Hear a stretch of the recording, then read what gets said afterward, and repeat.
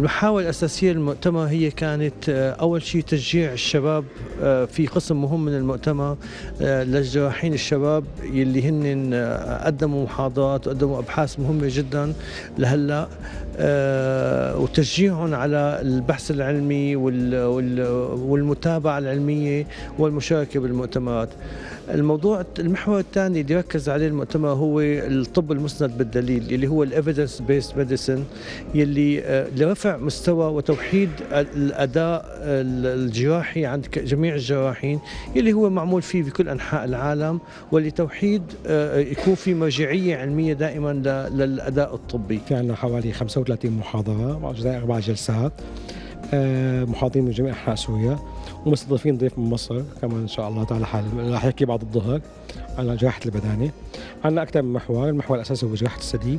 وفي حالات سرية قدمنا كثير حالات للشباب هي حالات منشورة علميا يعني مجلات محكمة دوليا. في عندنا محور ثاني هو جراحة البدانة وفي عندنا محور جراحات الردود والحرب بشكل عام. مؤتمر آه، رابطة الجراحة العامة في سوريا هو آه، يكون فرصة لالتقاء الزملاء من كافة المحافظات آه، لنقل الخبرات وتبادل الآراء حول الحالات الجراحية طبعا يتم عرض آه، حالات مميزة حالات محددة ليس بشكل عام. فتبادل الخبرات والتقاء الزملاء. نستطيع أن نصل إلى الأفكار الصحيحة في علاج أي مرض من خلال الفكرة الجراحية التي تطبق على لدى المريض. محاضرتي كانت عن التحدث عن المستجدات بعلاج سرطان الثدي قبل وبعد الجراحة. كتير مهم نحن يكون في تعاون بيننا وبين أطباء الجراحة لحتى نوصل للشفاء مع المريضة.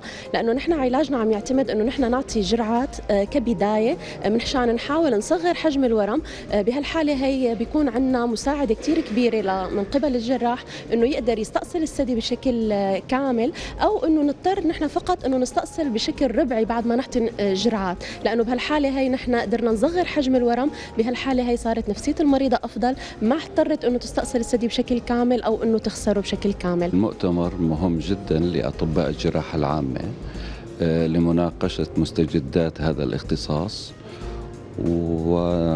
ومن أجل مناقشة حالات سريرية آه، وجدت مع زملائنا الجراحين العامين ومناقشتها وأفضل سبل العلاج آه، لها.